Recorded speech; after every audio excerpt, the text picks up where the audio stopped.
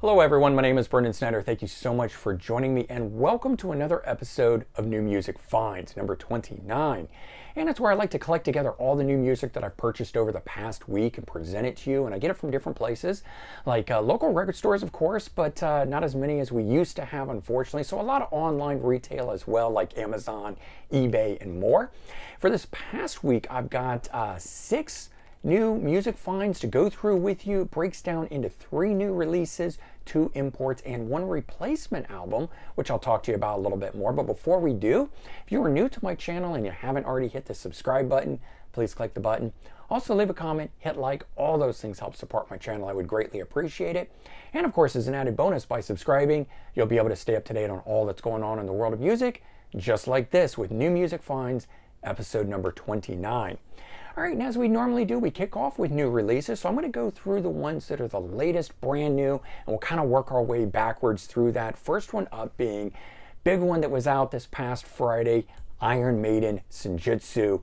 So September 3rd, this just came out, 17th studio album double album. And you know, the overall sound of this is different than uh, typical Maiden albums. It's a slower, darker, it's more uh, moody and brooding at places. It's also got some more atmospheric feel to this where uh, there's these interludes, intros and outros and things that are on the songs themselves before it will really kick in, giving the album a different feel as a whole. But I think there's a lot of character and depth to each of these songs, making it very interesting to listen to. And for me, at least, that holds my interest all the way through on this. And um, I'm going to be doing an album ranking on these, and you'll get to see where that one falls into place. But uh, there you go. This one was kind of cool. It's got a double, uh, you know, that album cover and then this album cover, and um, touched on it briefly in my full review of this, of which I'm going to leave a link in the description below. But there's nowhere on here that it has the track listing. That is in the booklet part of it. Is, is you know, itself, so you've got to pull the booklet out to get to that. And that was really my only complaint to this. Otherwise, there's some very cool artwork on it and definitely uh, nice stuff there. So the next one that I've got here is uh, came out on August 27th, so a little behind on picking it up here. Sometimes when there's only one new release like this that was coming out, I will then explore some past ones that I overlook to see if I want to pick them up. And this was one of those, John Mellencamp, The Good Samaritan Tour 2000. So this one here, as you can see, just a thin cardboard sleeve like this. Um, but that's the way that he's been doing it. He's the last three, four albums like this have just been these plain cardboard sleeves. I guess the opinion is, you know, CDs don't sell, so why put packaging into it, which is unfortunate. But this one here, which I wasn't planning on picking up, turned out to be really interesting. So it documents tour performances that he did in public parks, common spaces, and on street corners. These were free shows, unannounced. He just showed up, acoustic guitar, violin or fiddle or, or something along those lines, some backup singers, and performed. Uh, it was very lo-fi, um, no PA or not a major PA of any kind. It was battery operated, I think. And the crowds just showed up for those kind of things. And so I thought this wouldn't be that interesting. But I have to say that uh, the crowd noise for this, as well as the quality of recording, really surprised me. It's got a very energetic feel to this thing that uh, made it quite interesting when listening to it and I could get into it. So despite it not being a full band, it's a great performance, a lot of energy as I said. Um, the songs, it's got a lot of cover songs on it spanning uh, rock and folk classics and stuff. And then he sprinkles in a few of his own songs. So just from the standpoint of some unreleased John Mellencamp covers, it's pretty cool just for that too. All right, next one up was one I had no idea about until about a week ago. And I'm scrolling through on Amazon as I sometimes do, just kind of waiting to see what pops up in those recommended uh, categories things. And this was one of them. Ray Wilson, The Weight of Man. So it actually came out August 27th, but I didn't know about it.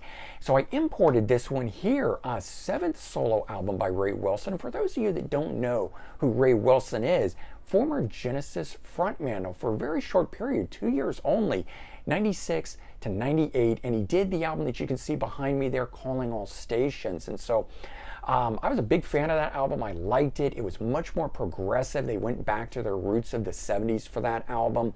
And so I very much enjoyed it, but unfortunately, they did not uh, progress or proceed with Ray Wilson as the frontman, taken over, of course, for Phil Collins. And that's all we really have to go on. But Ray Wilson continued on doing solo albums and uh, his own band, uh, Stiltskin, and stuff like that. So, a lot of great stuff out there. If you liked that, a lot more Ray Wilson out there for you to check on. And lately, he's been doing these in um, this sort of book style. I think they call these the media book right? But it's actually the size of the CD. And so, no pictures of Ray in this, but a lot of cool, um, you know, atmospheric sort of looking art to this stuff to give you an idea of what's going on, lyrics and whatnot that are in it. But yeah, a little book style thing, kind of cool. And then the next one that I got came out back on July 2nd, and I just was having a hard time getting a hold of it through Amazon. So, you guys have heard I've done this before. I'll cancel it from there and import it instead because I kind of get tired of waiting. The Quireboys, a bit of what you fancy, 30th anniversary edition. So this is the re-recording of their debut album, and again, you can see it that behind me there. Sometimes I try to get uh, stuff behind here for you guys to see when I'm referencing stuff. So Ray Wilson there, Calling All Stations by Genesis, and Bit of What You Fancy by the Quireboys, all kind of stuff that I'm referencing here in particular. So yeah, re-recording 30 years on. Now, this is a bit more uh, gravelly and rough than the original. Obviously, the one done originally in uh, 1990 was um, uh, much more well produced and polished and so forth. But if you've liked the Quireboys as of late, this is definitely worth checking out for that in and of itself. And it's cool. It's got a write up about what that recording was like and so forth. And got some good shots of the guys and um, good live one there of the, the band and so forth. So very cool stuff. Nice to have this 30th anniversary celebration, a little bit different than the way that we remember it. Um, but you know, I've got the original, so it's great to get this. And it's a little something different too than just an outright live performance. As so many bands do. They go out and they perform the album live in its entirety. But I appreciate this, where they actually did this in studio. All right, next one up here was one I totally didn't think I'd be buying. And so I had let this one slide by, but a friend of mine recently went and saw this band in concert and it sort of piqued my interest. And I thought, hey, let me give them a shot. So I checked them out and was thoroughly impressed. And I'm talking about Garbage. No Gods, No Masters. Came out June 11th. So seventh studio album. This one here, the deluxe set. Um, and so, because it's the seventh album, the band took that numerology into account, the number seven, and the album content, the DNA of it is described around the seven virtues, the seven sorrows, and the seven deadly sins. So, kind of cool. It's not really a concept album, but yet there is an underlying concept to what's going on here.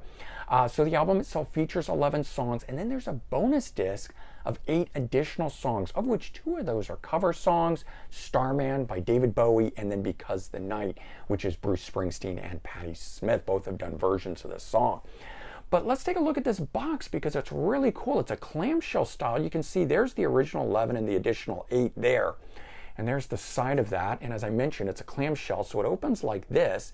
And we got the booklet right on top. And I'll give a little thumb through on that in just a minute. It's an extended version of the one that comes in the regular CD. Then there's a poster in it. Then we've got these cards of each of the band members, and I'll thumb through those in a moment. But I also like that we get the discs separate in sleeves, not just floating in there or combined or something.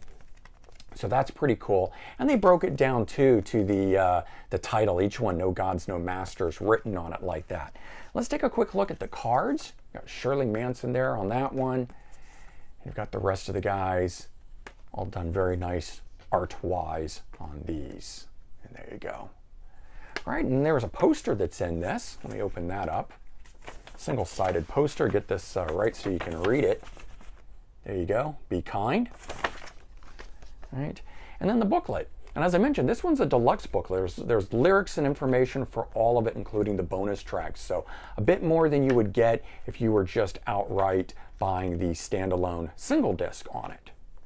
So that's kind of cool. Sometimes you get the bonus disc and then there's no information on it, and that always kind of bugs me. But here you go, you actually get it. And it's all together in that clamshell box. And I picked it up for $22 at my local store. So that wasn't even an Amazon purchase. So that was a really good deal for all of this stuff uh, together. Now, the last thing that I picked up here, and I mentioned it at the beginning of this, is a replacement. So it's Journey Greatest Hits 2. Now, I already owned this. There you go. There's the two versions. This one here, as you can see, was a promo. It had a hole in it. And that's not the reason I'm actually replacing it. I'm going to see if you guys can actually see this or not. This is the original. This is the new one. And if we look at these here, and you stare at these, this one here the inlay card is much thinner. They bent it in the wrong place. And I've been getting that on a lot of these. This one here you can see fills the entirety of that plastic, whereas this one here, it cuts off right under the word or the name itself. I know it may be a little hard to see in this, but that really bugs me because CDs sit face up like this, right? So you can see it. So on the wall, like behind me, I'm always seeing that defectiveness. And you know, once, twice, whatever, but I'm getting this a lot. And I don't know why it happens on this face and almost never on the opposite, the back side, the side that goes against the wall. But I'm getting it a lot. Anyway, sorry about the long story there. Um, the replacement of it, brand new, $4.99. All right, so I thought, why not? I'm just going to pick it up. I can replace it. Then I got home and I found this about it. So here's a weird thing. I picked up the $4.99 one, and it's got this glossy, reflective, very thin, papery version of this. And I thought something didn't quite feel right. So I went to the original one and I pulled it out. And yeah, it's a little glossy, but it's matte. And it's almost like it's on cardstock. It's much harder, thicker paper than the original. It's not cheaply done. So I hadn't really noticed that, but I was kind of wondering, well, how do they get away having these so cheap? Well, some I have found you get, and there's nothing on the inside of the booklets anymore. They just got rid of it. In this case, they actually printed on cheaper paper. So what I did is I took the booklet from the original one, nice cardstock, and I took the inlay card of the brand new one, swapped them out. That is my replacement. I know that's kind of crazy, right? But some of you guys get me, right? That's what we have to do in order to get uh, the perfect disc uh, sometimes. And so, you know, you kind of get those things, you experience that. I bought the first one used that way and it was a promo, so it had the hole punch and whatnot. And I accepted it and I think I got it for a dollar or two. And I bought the replacement for $4.99 and you put it together, it's still only like six bucks. So anyway, there you go. Those are my new music finds for this past week, number 29. Hopefully you guys enjoyed it. And if you did, please remember to comment, like, and subscribe. And do check the description for links to related videos. In particular, I'll leave a link to the full Iron Maiden Senjutsu uh, review if you want to check that out, as well as some other things. And, um, you know, and if you're still watching and you enjoyed this, maybe you'll consider sharing this out on social media. Help spread the word that way. I would also really appreciate it. All right, everyone, take care. Have a great day, and I'll talk to you real soon. Bye bye.